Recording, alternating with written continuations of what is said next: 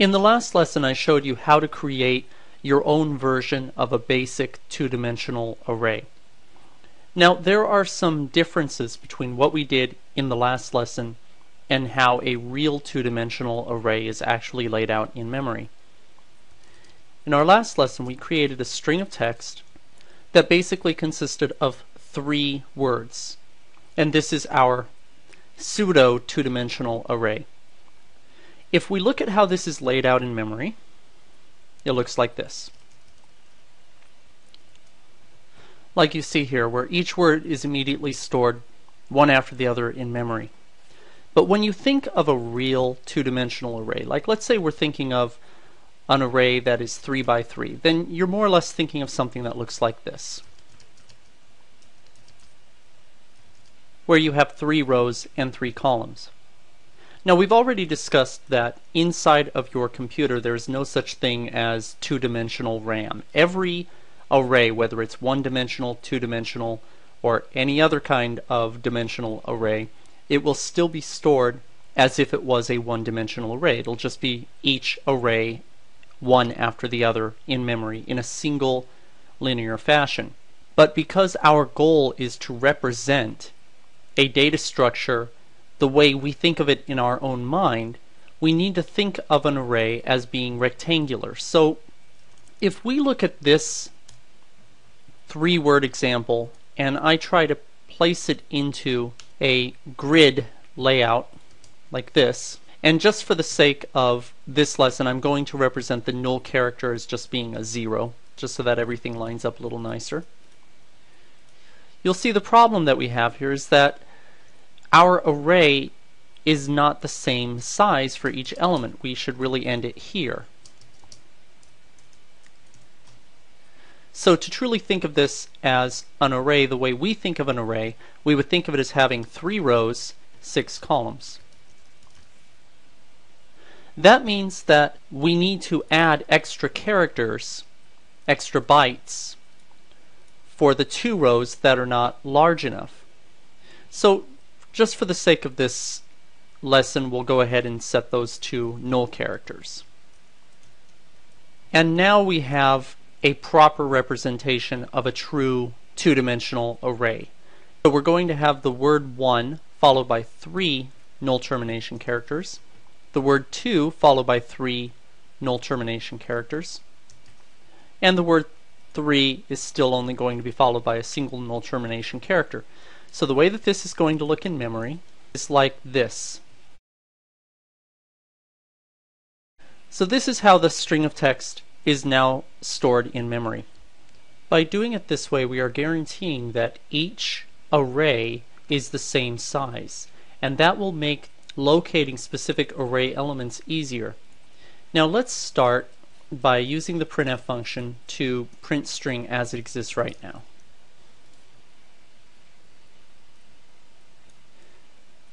And you'll notice that it prints the word 1 like we would expect because it's going to start at the O and then when it reaches the null termination character of course it's going to stop.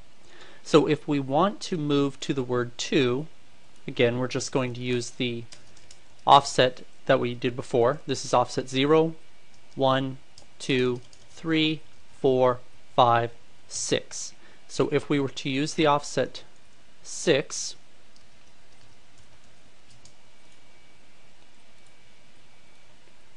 we print the word 2,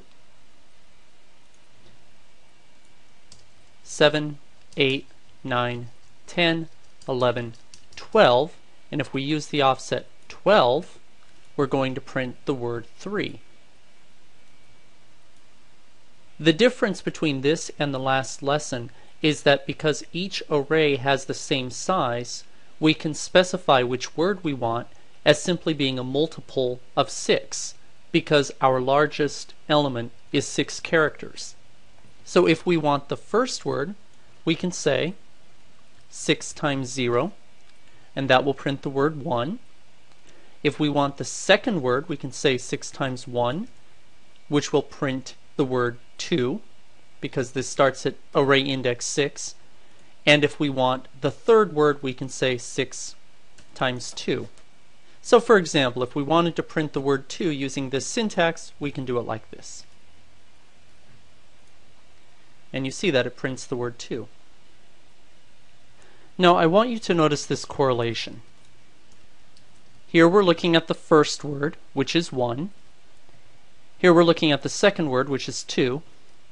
And here we're looking at the third word, which is 3. Notice that the only difference here is the multiple of 6.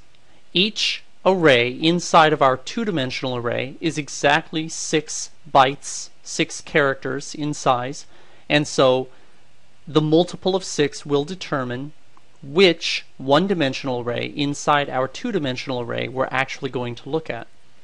Now let's go ahead and lay this out the way we would actually think of it as a two-dimensional array.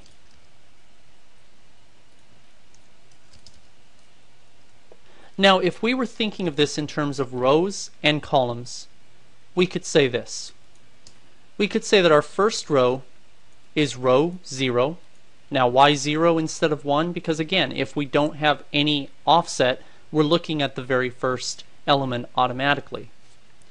So row 0 is the first row, row 1 would be the second row, and row 2 would be the third row. So in effect what we can say here is that row 0 is equal to 1. Of course it has three null termination characters. Row 1 is equal to 2.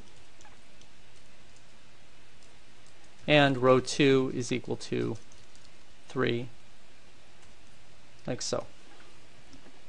Now just like we can think of this as having rows, we can also think of it as having columns. We would say this is column 0, 1, 2, 3, 4, and 5. A total of 6 columns, or 6 characters. So if we had our array laid out like this, and we wanted to print the word 2, we could theoretically call something like this. Now, of course, we can't do that yet, but I'll show you how in the next lesson. Now, what if we wanted to print a specific character? Like, let's say we wanted to print the n in 1. Well, in this case, we're going to want row 0. We're going to want character 1. Remember, character 0 would be the very first character, which is the O in 1. And last, we'd want to say percent %c to specify that it was going to be a character. Now keep in mind that this is not valid C code yet.